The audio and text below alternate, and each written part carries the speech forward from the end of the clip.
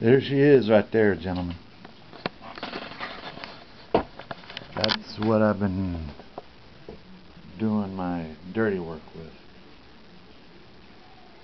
The M44 with bipod.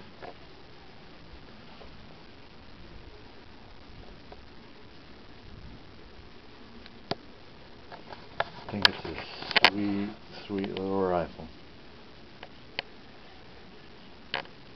big, it's mean, it's loud, and that's exactly what I like.